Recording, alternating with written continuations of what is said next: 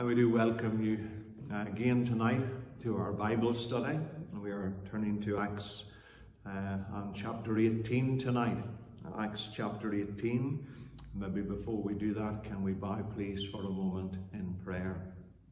Our gracious, loving Father, we thank you for your precious word. We thank you again for this opportunity of opening the word of God and trusting you, dear Father, that by your Spirit you will take your word and apply it to our hearts.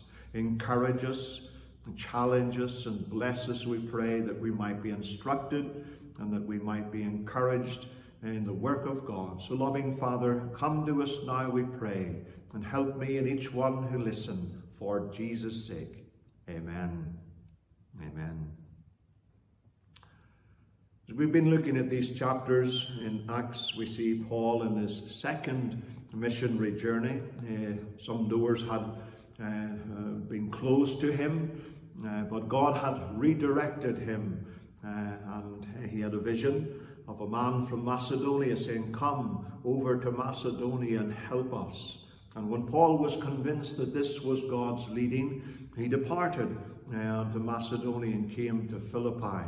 Uh, there was no synagogue. It, take, it took 10 Jewish men uh, to form a synagogue, but there wasn't 10 Jewish men to form a synagogue in Philippi. So Paul went down by the riverside where prayer was wont to be made. And there were women there uh, who had gathered. Paul began to speak to them. And uh, one woman, Lydia, a, very wealthy woman, seller of purple, a businesswoman, uh, she heard Paul and the Bible says that God opened her heart. What a beautiful picture. How the Word of God came and, and her heart was opened and she believed the message.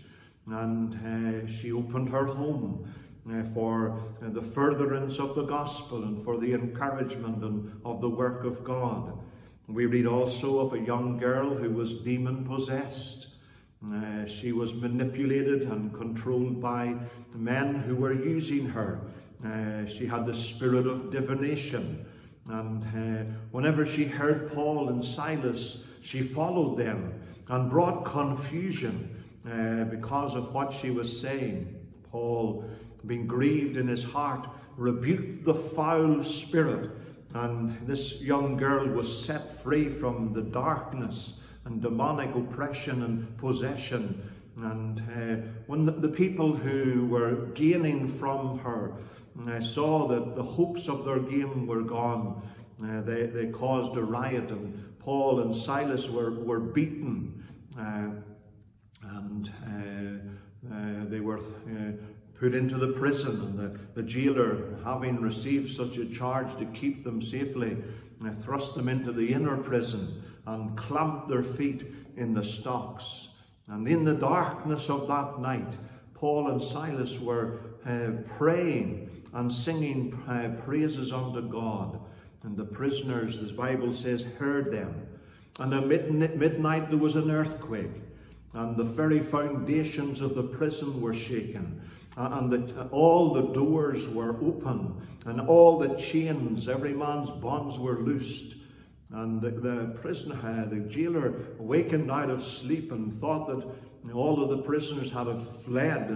And he thought, well, um, uh, my, my life is, is, is no longer worth living. And he drew out a sword and was going to take his own life when Paul cried with a loud voice, Do thyself no harm, for we're all here. The people hadn't fled, but they had come right into that inner prison where Paul and Silas were, and this man came and uh, convinced of his great spiritual needs, said, What must I do to be saved? Uh, that's a tremendous question, and we need to be able to give an answer to those who are seeking to find the way of salvation. And Paul pointed them to the person of the Lord Jesus Christ. Believe on the Lord Jesus Christ, and thou shalt be saved on thy house. And so and the Philippian jailer was transformed, his life was changed by believing uh, in the Lord Jesus Christ as his Savior, and he uh, was baptized. And uh, so uh, Paul uh, again was, was told to leave the city after this event, and he went to Thessalonica, and again for a short period of time he ministered there, and there were those in Thessalonica who believed, and a church was formed. But then again, opposition. When God was working, uh, the, the, there was those who did not believe, and they stirred up the people, and Paul uh, had to leave. And he went to Berea. Berea was uh, just again another 37 miles away, and he went to Berea and found the people there who were more noble uh, than the Thessalonians. Uh, he, they were people who were uh, searching the scriptures daily to see what uh, Paul was saying was it was it true. And then, whenever the people of Thessalonica heard that God was uh, working in, in Berea, they came and they stirred the people, and Paul had to leave, and uh, he departed to Athens. Uh, and it says, whenever he was in Athens, he was there alone, uh, and while he was waiting, his spirit was stirred uh, when he saw the, the city wholly given over to idolatry. They had uh, an altar to the unknown God. And then we have that great uh, sermon or message that Paul brought to uh, the people of Athens. And uh, again, he ministered there. And then we come to chapter 18 where it says, And after these things, Paul departed from Athens and came to Corinth.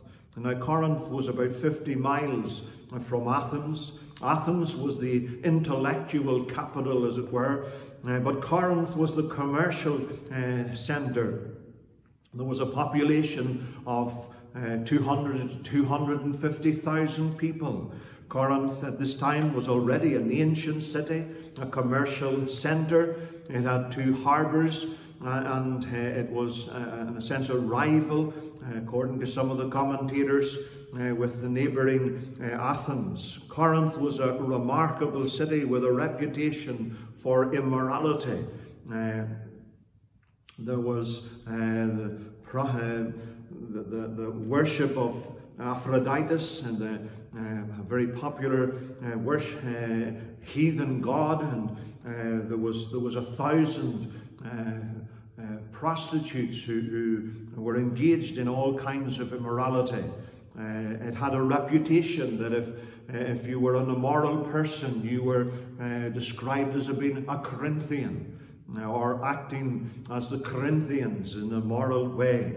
And so Paul was coming uh, to this uh, big city, a very commercial city, a very dark, uh, spiritually wicked city, uh, an evil place.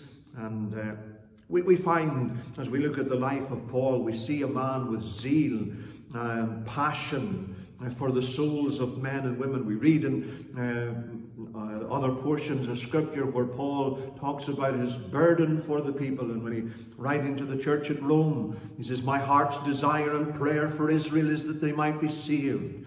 Um, he tells in chapter 9, um, I, I, I, have great heaviness uh, in my heart and continual sorrow in my heart for my kinsmen according to the flesh.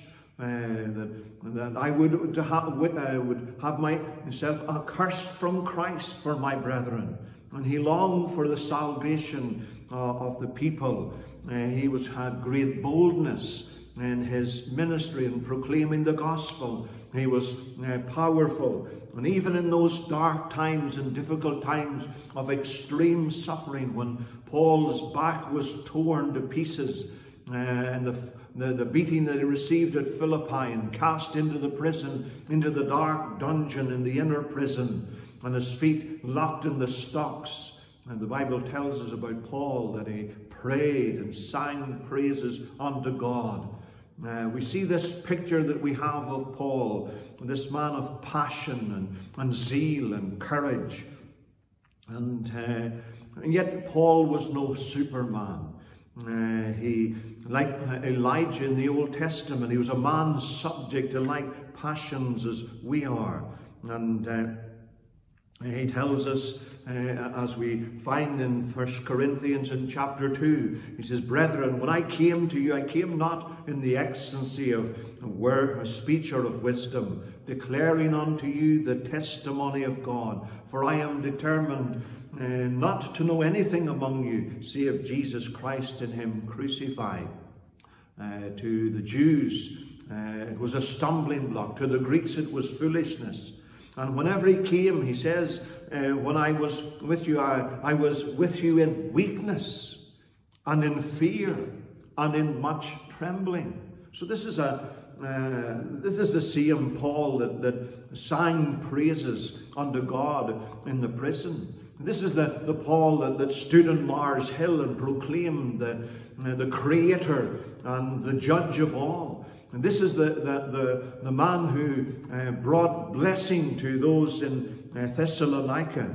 And uh, uh he, in this immoral commercial city, he came, uh, as he tells us, in weakness and in fear and in much trembling. Now, courage is not the absence of fear, but it is going despite the fear.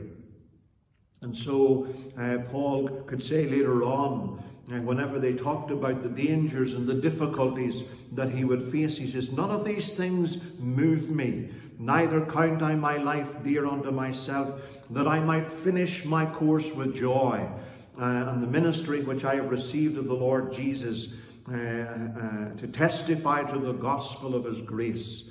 And so we find that Paul was coming despite the fears, despite the fact that he was trembling as he came to Philippi or to uh, uh, Corinth. Uh, we know that also, uh, not only did he come with, with uh, the fears uh, that he had, maybe the discouragements of all that had passed, but he came without any financial support.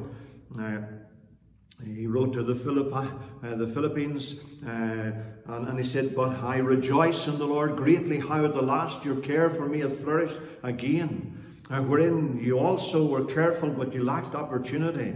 Uh, not that I speak in respect of ones, for I have learned in whatsoever state I am there to, with to be content.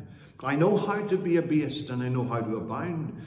In everything and in all things, I am instructed both to be full and to be hungry, uh, to be uh, both abound and to suffer need. I can do all things through Christ, which strengtheneth me. Sometimes people take that verse out of context. Uh, the context here, as Paul is speaking about, is, is whether or not he has financial support or not. Whether, whether there's plenty or whether there's very little. He says, I can do all things through Christ that strengtheneth me. And he says, Nevertheless, uh, ye have done well that you communicated with my afflictions, and how ye Philippians know also that at the beginning of the gospel, when I departed from Macedonia, no church gave communicated unto me concerning giving and receiving, but thee only. And for even in Thessalonica, yet once and again uh, uh, gave unto my necessities. So we find that here is Paul, and the only, the only people that supported him whenever he left Macedonia was the Philippian uh, church. Uh, he tells us in uh, 2 Corinthians and in chapter 11, uh, when I was uh, present with you uh, uh, and wanted, I was chargeable to no man for that which was lacking to me. The brethren that came from Macedonia supplied. Uh, and in all things I kept myself from being burdensome unto you, and so I keep myself. So here we find the Apostle Paul. Uh, he, he is uh, he's not being supported financially. He, he, is, he has had to flee uh, and leave and, and depart. And he came from uh, Thess- uh, Philippi to uh, Thessalonica to uh, Berea and on to uh, Athens and now into Corinth. And then he has no real support. Later on, the, the church was able to minister to him. And he was very thankful for that. He was also alone, apart from uh, Luke that was with him. Uh, Timotheus and Silas uh, were, were, were not with him. So there he was alone. And yet we find that uh, God was providing for Paul in his ministry. And it tells us in verse 2 and he found a certain Jew named Aquila, uh, born of Pontus, lately uh, come from Italy, and his wife Priscilla, uh, because Claudius had commanded all the Jews to depart from Rome, uh, and they came uh, unto them. Uh, so uh, here we find Paul, uh, he, he, finds himself without any financial support. He comes with fear and trembling into the city, and God provides these people as helps. Uh, the little saying, a friend in need is friend indeed. And uh, Aquila and Priscilla, they had been expelled. There was trouble in Rome, and the trouble seemed to arise because between those who believed in Jesus Christ and those who didn't believe in the, in the Jew, the Romans just decided get rid of the Jews because we don't want any trouble here, and they expelled all. And so uh, Aquila and Priscilla, uh, they had to leave uh, Rome and they came to Corinth, and they, they set up business there. And uh, it tells us because he was of the same craft Whenever you went to the synagogue, not only were the women separated uh, from the men, but the men were separated according to rank. And uh, whatever your trade was, uh, that was the, the, the, the, people that you sat amongst. So whenever Paul went to the synagogue, no doubt he met these two uh, that were of the similar trade to himself. Every Jew was taught by uh, his father and uh, to, to, to have a trade, to be able to work, and uh, they had this work ethic. And so uh, Paul uh, was a tent maker. He worked with leather and uh, he worked as a tent maker. And so it tells us that whenever Paul came to the city, uh, he came without any financial support. So he found this couple, Aquila and Priscilla, and uh, because he was of the same craft, he abode with them and brought. So he got involved, he got a job, as it were, um, uh, making tents and to support himself. And he talks about that, how he wasn't burdensome to others, uh, but he supported himself by working. And so Paul worked with them. And uh, Paul was able, uh, because he was working, uh, he went to the Sabbath every Saturday and he reasoned in the Sabbath uh, every Sabbath uh, and uh, persuaded and the Jews and, and the Greeks. Now, there, were, there were Jews in the synagogue, but there were also Greeks. And the Greeks were, were people who had not yet been circumcised and, and embraced all of Judaism, but they were, they were open to uh, the, the, the, message. They were sympathetic uh, to the message. And Paul was reasoning out of the scripture. That was Paul's method. Wherever he was, wherever the congregation was, he reasoned out of the scripture. You find later on, whenever he went and stood before uh, King Agrippa, and uh, he challenged him and reasoned with him and uh, sought to persuade him. And uh, says, uh, King Agrippa, he said, Believest thou the prophets? I know that thou believest. And Agrippa said unto him, Paul, almost thou persuadest me to be a Christian.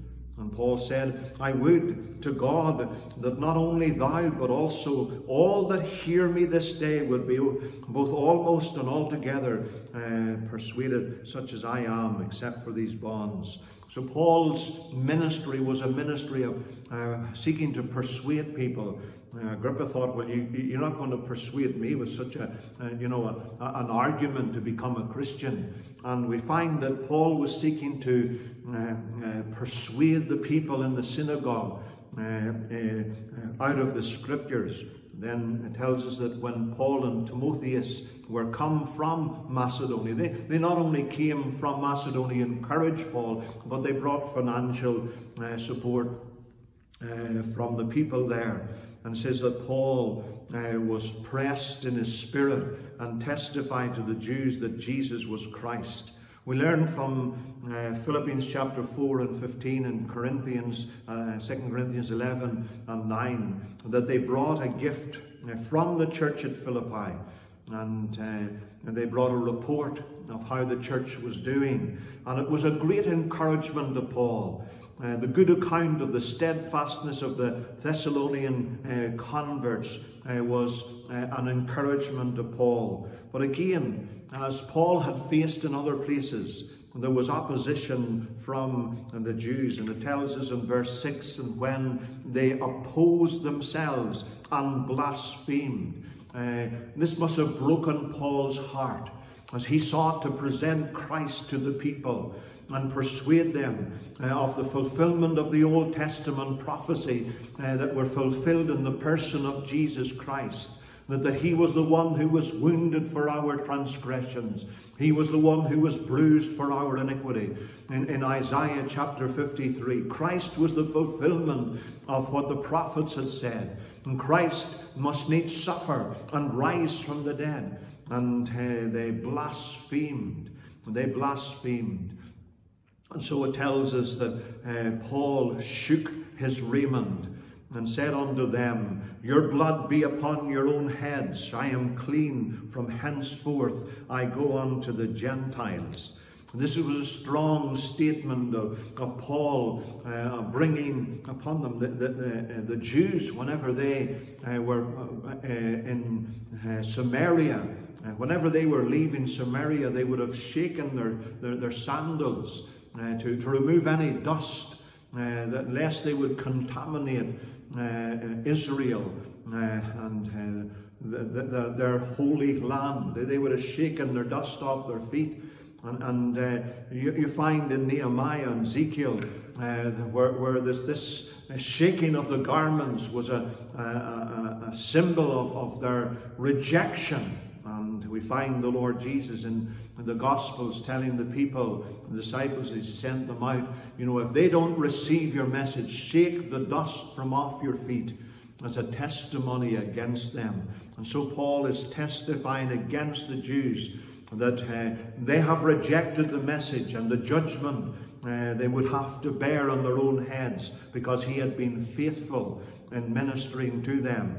And so he departed and uh, he departed from thence uh, and entered into a certain man's house named Justus, one uh, that worshipped God, uh, whose house joined hard to the synagogue. Uh, here was a, a man with great courage.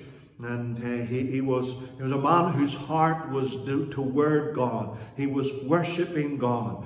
And uh, whenever Paul uh, was leaving the synagogue and rejecting the, the people, he opened his home right next door to the synagogue. That took courage uh, to, to open up his home uh, for the worship of God whenever uh, the, uh, we find that he was rejected. And so we, we find here that Paul uh, goes next door, and, and uh, then God begins to work. And it tells us that Crispus, the chief ruler of the synagogue, uh, whenever Paul brought this message, and there were those who blasphemed and opposed, uh, not all uh, rejected the message. And Crispus, who was the, the ruler of the synagogue, believed in the Lord with all his house. Here is one man, and, and, and he, he brought his family out of the synagogue, even though he was a, a chief uh, ruler of the synagogue. He brought them out of it because he recognized uh, the message that Paul was preaching uh, was the truth as revealed in the Holy Scriptures. And so he was, uh, uh he, he believed in the Lord Jesus and uh, Many of the Corinthians, hearing, believed and were baptized. So God was working and, and God was uh, moving, and uh, there were those who believed. Uh, now we, we recognize that even though God was working here, uh, there may have been a sense in which Paul was, was still trembling. Uh, maybe he was uh, discouraged in, in a measure. But we find that God comes to him uh, in the midst of the battles that he faced, the discouragement perhaps of the Jews that rejected the gospel, his heart must have been broken as he thought of these people who were blaspheming uh, and rejecting the very message of life and the message of salvation. And so uh, this vision came to Paul, and we find here that uh, the, the, Lord revealed to him uh, this encouragement uh, be not afraid. Now, you don't need to say that to someone who is not, uh, who, who if, if, if, they're not afraid. Uh, but we find here that Paul must have had fear. And uh, maybe he was even thinking of giving up. Uh, the, the, people were blaspheming. Uh, the, the, the, the, rejected the message, the foolishness of preaching. And the message from God was, Be not afraid, but speak. Speak. That's God's message. Preach the word. Be instant in season and out of season. Reprove, rebuke, uh, and exhort with all long suffering and doctrine, as Paul said to Timothy later on. And, and the responsibility of Paul is not to be paralyzed with fear. That was the message that came to Paul uh, in this situation, in this vast city where he was seeking to reach out uh, with the message of the gospel to his Jewish brethren, and, and they were rejecting it. And yet God was beginning to work.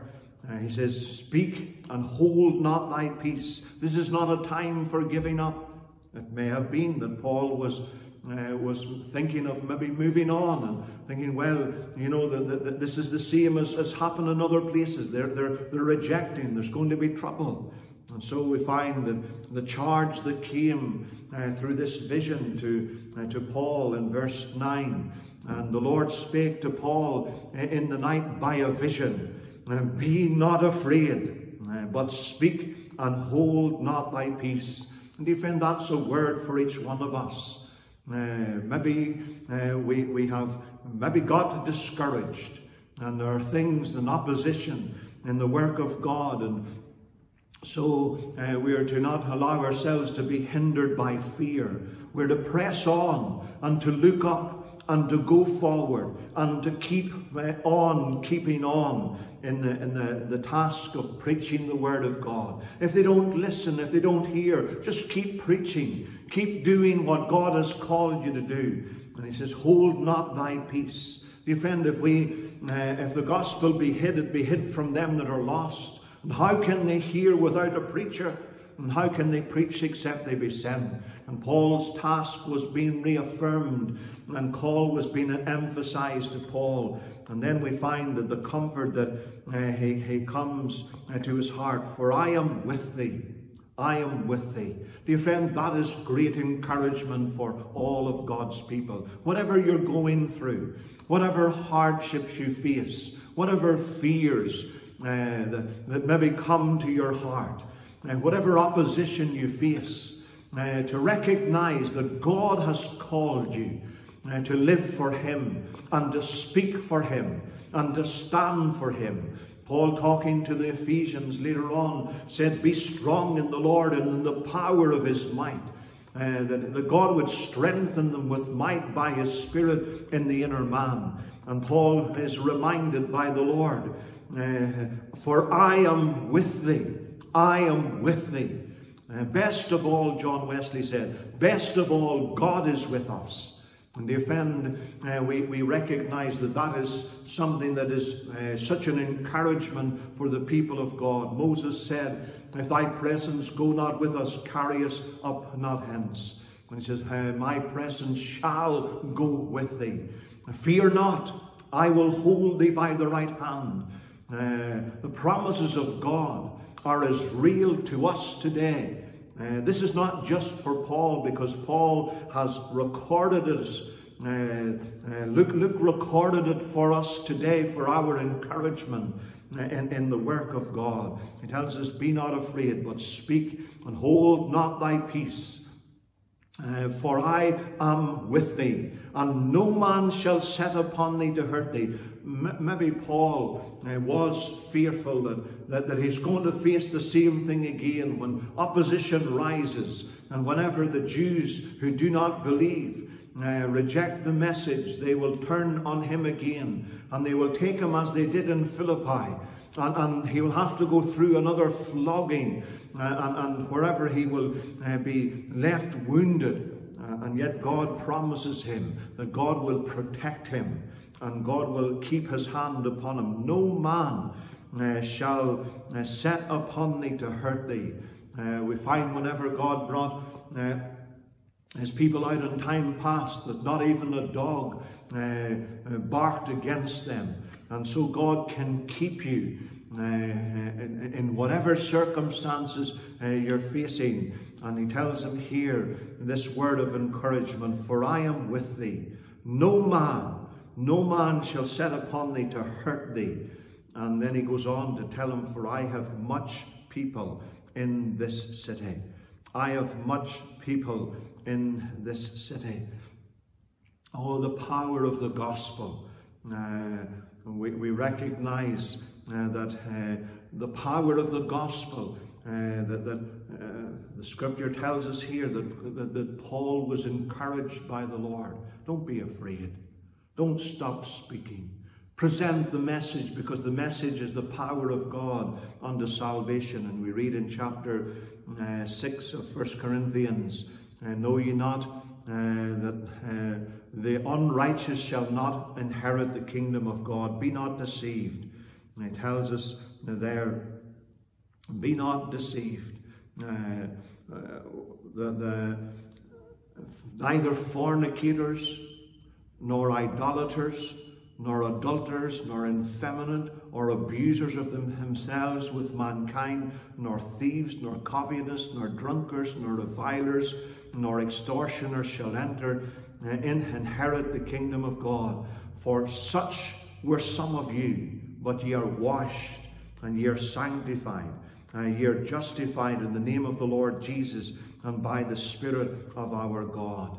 Uh, God said to uh, Paul, I have much people in this city. These, these are people, and, and some of them were idolaters, some of them were uh, fornicators, adulterers, and feminine, abusers of themselves with mankind, thefts, covetous, drunkards, revilers, extortioners.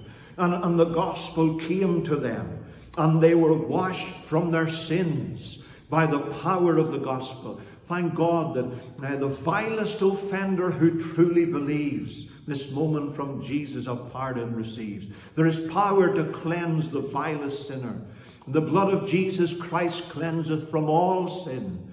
And so these people who were uh, vile sinners, uh, they were washed, they were set apart, uh, they were justified, just as if they had never sinned through the name of the Lord Jesus Christ. And if you're listening tonight and you're still in your sin, the hope of the gospel comes to your heart tonight. There is one who can forgive. There is one who can cleanse from the vileness of sin. The deep rooted sin that reigns and rules in your heart can be broken by the power of the blood of Jesus Christ. And in the name of Jesus, you can be saved to the uttermost, lifted out of the horrible pit and out of miry clay and set upon a rock. Christ Jesus. And so uh, Paul could say uh, later on, Nevertheless, the foundation of God standeth sure, having this seal, the Lord knows them that are his. And so uh, we find uh, Paul, instead of running away or, or moving to some other city, he begins a more settled ministry. And for 18 months, uh, he teaches the Word of God. And he teaches the Word of God. And he continued there a year and six months teaching the Word of God among them. And then we find that uh, whenever the uh, opposition did arise, uh, tells us that Gallio, uh, who uh, was the deputy uh, the Jews made insurrection uh, with one accord against Paul and brought him to the judgment seat. Here it was going to happen all over again. They were going to take Paul, they're going to crush Paul and beat Paul and, and, and bring him to the, before the judgment seat. And he said, This fellow persuadeth uh, the men to worship God contrary to the law. Uh, this uh, uh, new religions were, were forbidden by the Romans. And here they were bringing accusations against Paul. And Paul was going to stand up for himself. But God had provided uh, a defender for Paul in a very unlikely place. Uh, God had promised that no man would lay his hand upon him. And here is Gallio, uh, he said unto the Jews, If it were a matter of wrong uh, or wicked lewdness, O ye Jews, reason would that I should bear with you. But if it be a question of words and names uh, and of your law, uh, look ye to it. I will be no judge on this matter. And he drove them out of the judgment seat. Here is this man that God raised to, to defend Paul. And so we find that God raised up a voice from an unusual source.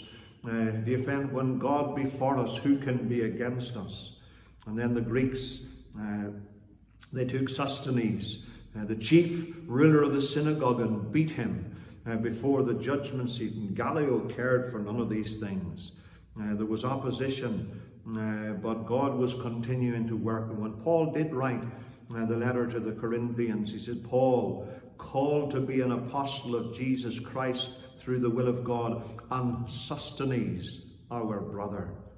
This man that was taken out and beaten and suffered, uh, and he says, unto the church uh, of God which is in Corinth. God raised up despite the opposition, despite even the fact that perhaps when Paul came, he came trembling, maybe discouraged and uh, feeling alone. Yet God ministered to him and God used him. And thank God uh, we have the promise of God I will build my church, and the gates of hell shall not prevail against it. There may be opposition, but we thank God that God is still on the throne, and God can help us. And may we know God's blessing and help in these days. We'll leave that uh, there for now. We trust that the Lord will bless His word to our hearts. Can we bow, please, for a moment as we close? Our Father, we pray that we will be encouraged uh, Father, even as we think of Paul and all of the fears and, uh, Father, the difficulties that he faced, and yet, Lord, you came to him, uh, you brought encouragement to him, uh, you strengthened them for the work, and you used them for your glory. Lord, you know our weakness. You know the times, dear Father, that we've trembled, uh, Father, have faced opposition or felt alone. Lord, we thank you, dear Father, that you're the one who is able to encourage and we can encourage ourselves in the Lord. And we pray that you'll bless and that, hey, Father, that you will work. And Lord, that as the word of God goes forth, that men and women will believe and be built up and strengthened and know the sanctifying power of God and the glory of God uh, being revealed even in their midst. So, Lord, set your seal upon your word. Encourage and help, we pray, for Jesus' sake. Amen.